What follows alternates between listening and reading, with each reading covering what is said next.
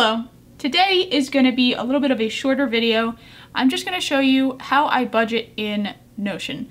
Uh, this is a simple budget planner that is pretty straightforward. I have a monthly budget that I want to abide by every month generally, and at the end of every four months, I average my total expenses to see if I am under or over budget generally.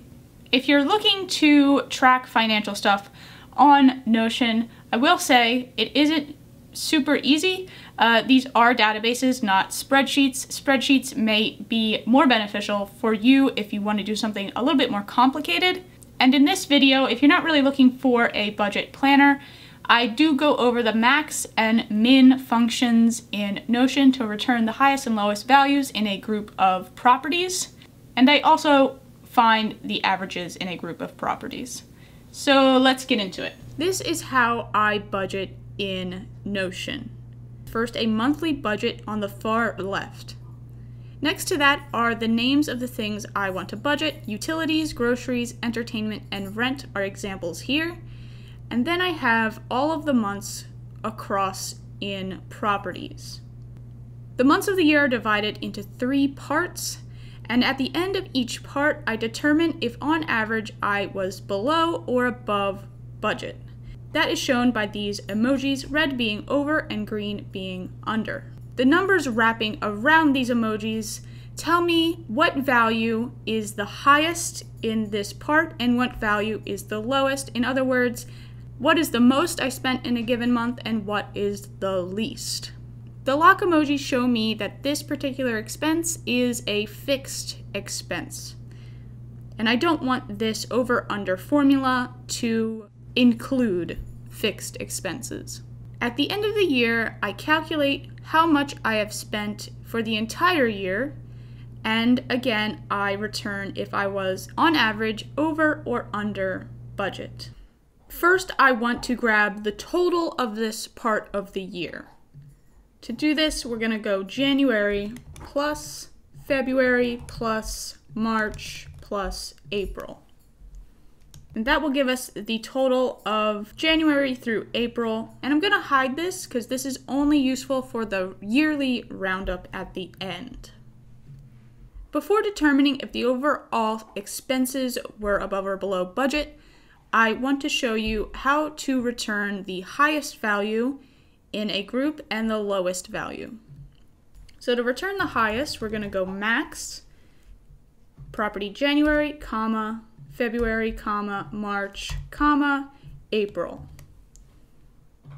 And this will show us the highest value. To find the minimum, we'll go MIN. Now I want to find the average of these four months. So I'm going to go prop January plus February plus March plus April close this out in its own bracket, and divide by 4. This is our average. Now we want to determine if this average is above or below the monthly budget. We're going to close all this out so we can see that if the result of all of this is greater than prop monthly budget, then I want to return the over emojis, which are four red circles.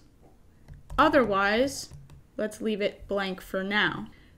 So if you want a minimal look, this is pretty nice. These red emojis will just show if you are over budget upon a quick glance. Now I want to include some of those max min functions into this and display at the top of these four emojis the maximum I spent in this part of the year and on the bottom the minimum. So on this side of the formula, which shows us the output, I'm going to add max space dollar sign plus I'm going to format that max function that we went over earlier. So prop January, comma, February, comma, March, comma, April. Close that out. And we should have this max in here. Now, it looks a little wonky, so I want to add a space before this emoji. Nice. You can also adjust these column properties and have these emojis on the side. I like to keep it like this. So now let's add minimum, and we're gonna put it on this side of the emoji and go plus min space dollar sign plus, again, format, so it's text, and min. Prop January, comma, February, comma, March, comma, April. Now I want to replace this max with a graph emoji going up and the min with a graph emoji going down. So highlight max, we'll delete it. And on a Mac, if you want to get emojis up like this, it's going to be Control Command Space. Let's do that. And for min, going down. So if we also want those green emojis for the instance of under budget, I am going to create two if conditions in if statements and a third for this fixed instance. So let's actually delete this and start over. Let's say if empty prop select, so this select here, if it is empty, and if prop January plus February plus March plus April divided by 4 is greater than prop monthly budget, then we want that emoji going up, space, dollar sign, plus format, max, properties, January, February, March, and April. Plus our red emojis.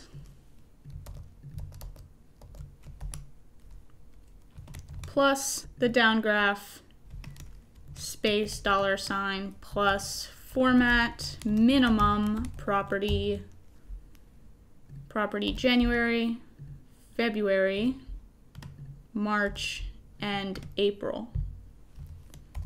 The next instance is gonna pretty much say the same thing. So we're just gonna copy this condition, paste it in here, except instead of being greater than the budget, it's gonna be less than the budget. And replace these with green emojis. Now we're gonna add another condition for if prop select equals fixed,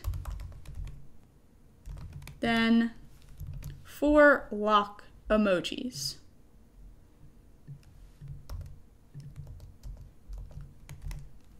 Otherwise, so false condition, it's going to be empty. There are three overall conditions, so we're going to go three parentheses. I do the same thing for every part of the year, so May through August and September through December, also calculating the total sum in that other hidden property. And that'll be three hidden part properties that I will use to determine our averages for the year.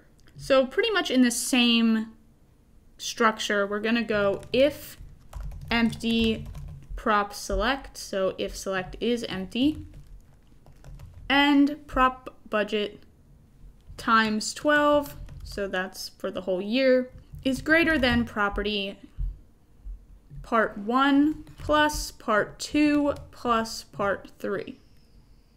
If this is the case, then I want it to return year in budget with four rainbow emojis. And for our second condition, it's going to be if empty is select. And again prop monthly budget times 12 is less than part one plus part two plus part three, then over budget with four sad face emojis. Otherwise, empty.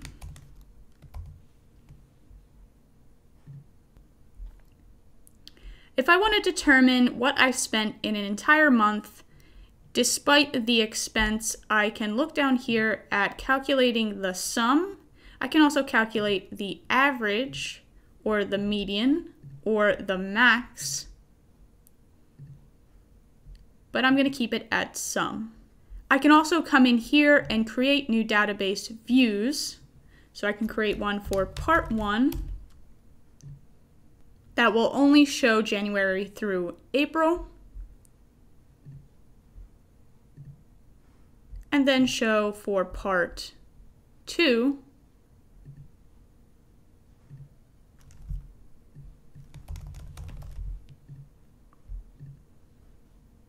and go into properties and adjust all of this to only show me part two.